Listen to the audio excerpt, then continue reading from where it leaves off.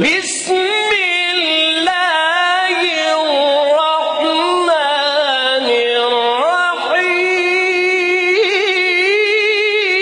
الرحيم کرام، سب سے پہلے آپ کی چاہت، محبت اور خلوص کا بے حد شکریہ۔ ہمارے ساتھ کنیکٹ ہیں چینل کو سبسکرائب کر رہے ہیں اور اپنی قیمتی رائے کا اظہار بھی کر رہے ہیں۔ وسواسی، وہمی، شکی ہو جاتا ہے، بار بار وضو کرتا ہے، بار بار نماز پڑھتا ہے، حتیٰ کہ نمازیں چھوڑ دیتے ہیں کہ جی ہم نماز مکمل ہی نہیں کر پاتے، غسل کرتے ہیں تو گھنٹہ گھنٹہ، دو دو گھنٹے لگا دیتے ہیں۔ اسی طرح ہر چیز میں طہارت، نجاست میں شک ہو جاتا ہے، وہم میں شک میں مبتلا رہتے ہیں اور اس طرح بھی بعض پہنچ جاتے ہیں کہ جن کا پھر ذہن اتنا شکی اور اتنے برے خیالات آتے ہیں کہ پھر اللہ اور معصومین کی ذات پر بھی وہ عجیب عجیب خیالات کرنا شروع کر دیتے ہیں۔ تو ان کے لیے آج ایک ایسا مجرب ترین عمل لے کے آئے ہیں جو ہاں کسی عام شخصیت کا نہیں، امام جعفر صادق علیہ السلام نے بتایا ہے کہ اگر آپ یہ یہ عمل کر لیں گے تو آپ ان چیزوں سے چھٹکارا پا سکتے ہیں۔ لا حول ولا قوت الا باللہ۔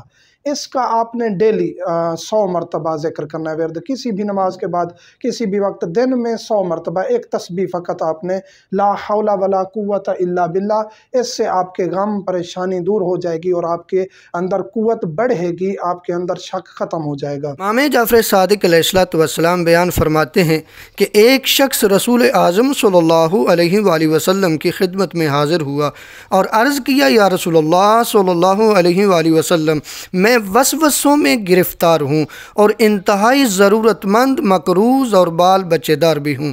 حضرت صلی اللہ علیہ وآلہ وسلم نے فرمایا کہ تم کثرت سے توکلت علی الحی الذی لا يموت والحمد للہ الذی لم يتخذ صاحبتا ولا ولدا ولم يكن له شریک فی الملک ولم يكن له ولی من الذل وکبرہ تکبیرا۔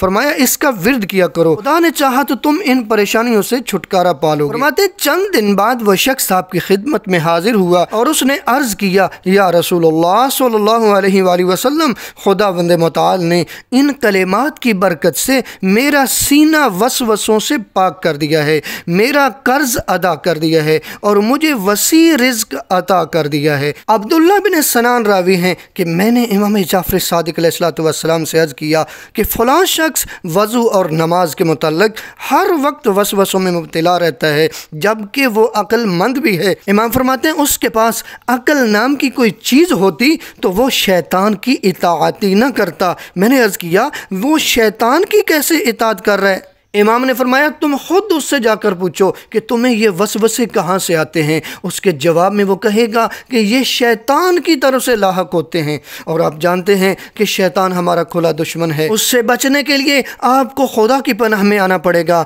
آپ کو زیادہ سے زیادہ ذکر خدا کرنا پڑے گا۔ کیونکہ ہم شیطان اور اس کے چیلوں سے اتنے تک محفوظ نہیں ہو سکتے جب تک اللہ ہماری نگہبانی نہ کرے۔ پروردگار سورت النساء میں فرماتے ہیں نا، اگر تم پر خدا کا فضل اور اس کی مہربانی نہ ہوتی تو چند لوگوں کے سوا تم سب شیطان کے پیروکار ہوتے۔ اور سورہ بکرہ میں فرماتا ہے، اگر تم پر خدا کا فضل اور اس کی مہربانی نہ ہوتی تو تم خسارہ اٹھانے والوں میں سے ہو جاتے۔ اس مسئلے کی اہمیت کا اندازہ اس بات سے بھی لگایا جا سکتا ہے کہ خدا نے اپنے حبیب صلی اللہ علیہ وآلہ وسلم پر سورة الناس نازل فرمائی، جس میں ارشاد فرمایا، بسم اللہ الرحمن الرحیم، قل اعوذ برب الناس ملک الناس الہ الناس، من شر الوسواس الخناس، الذي يوسوس في صدور الناس، من الجنت والناس۔ رسول صلی اللہ علیہ وآلہ وسلم، کہہ دیجیے کہ میں لوگوں کے پروردگار کی پناہ مانگتا ہوں، جو تمام لوگوں کا مالک اور بادشاہ ہے۔